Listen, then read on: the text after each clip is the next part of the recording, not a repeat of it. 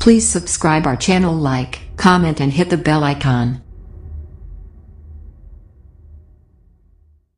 everyone welcome to our youtube education channel शिक्षा academy standard 10th mathematics chapter number 8 is your introduction to trigonometry in that exercise 8.3 अभी तक जिन्होंने भी channel को subscribe नहीं किया है, सबसे पहले चैनल को सब्सक्राइब करो एंड बेल आइकन को प्रेस करो, जिससे आपको हर एक वीडियो का नोटिफिकेशन मिलता जाएगा। जो चैनल पे नए हो, वो भी सबसे पहले चैनल को सब्सक्राइब कर लें। क्वेश्चन नंबर सेवन आपका दिया गया है यहाँ पे। Express sine 67 degree plus cos 75 degree in term of trigonometric ratios of angle between zero to 45 degree अब देखो, यहाँ पे जो आपको ट्रिग्नोमेट्रिक रेशियोज दिए गए हैं, इनका एंगल्स क्या है? ग्रेटर देन यहाँ पे 45 डिग्री है। तो आपको इनके एंगल्स किसमें लाने हैं? Zero to forty five degree के बीच में। जो भी एंगल्स यहाँ पे होना चाहिए, वो क्या होना चाहिए? Zero to forty five degree के बीच में होने चाहिए। ओके देन आप सबसे पहले इसको लिख दो, जो भी आपको दिया गया है। इस तरह से। Cos seventy five degree sine sixty seven degree plus cos seventy five degree now अभी आपको पता है, यहाँ पे हम इसको एक फॉर्मूला लगा सकते हैं, ये वाला। कोस क्या होता था? Ninety minus theta is equal to sine theta होता था।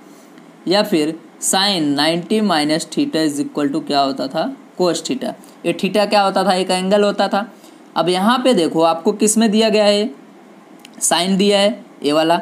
साइन थीटा दिया है। आप इसको कोस 90 माइनस थीटा में जब करोगे 90 में से सब्ट्रैक्ट करोगे तो आंसर क्या आने वाला है यहाँ पे देखो 23 आएगा। That means zero to forty five degree के बीच में है। अब यहाँ पे भी जब आप सब्ट्रैक्ट करोगे तो क्या आएगा यहाँ पे? जब आप इसको सब्ट्रैक्ट कर दोगे 75 प्लस एक कितना हो जाएगा आपका? नाइ यहाँ पे 15 आएगा। ओके सेवन नाइन्टी में से सेवेंटी फाइव को सब्ट्रैक्ट करोगे तो क्या आएगा? Seventy five oh sorry fifteen आएगा, जो क्या है zero to forty five degree के बीच में है। ओके तो ये कंडीशन भी यहाँ पे फॉलो हो जाएगी।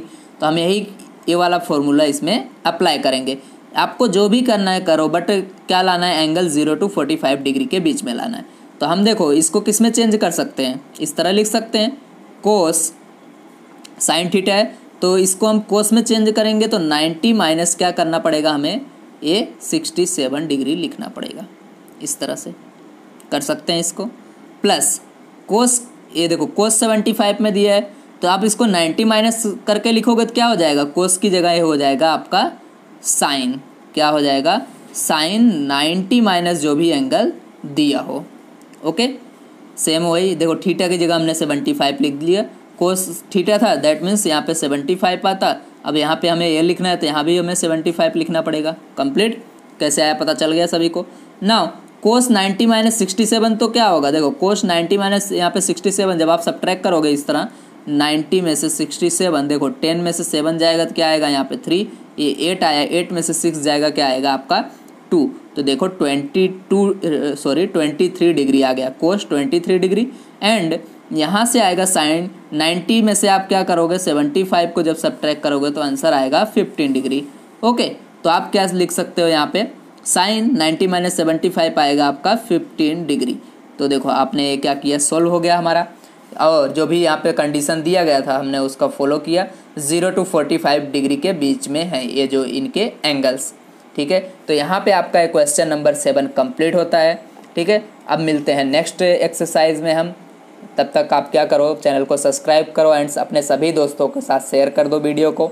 चैनल को सब्सक्राइब करके रखोगे तो आपको हर एक वीडियो का नोटिफिकेशन मिलता जाएगा। एंड जो भी अपडेट होगा बोर्ड का और या फिर कोई टेस्ट होगा, हर एक वीडियो आपको यहाँ से मिलता जाएगा। Thank you very much like subscribe and share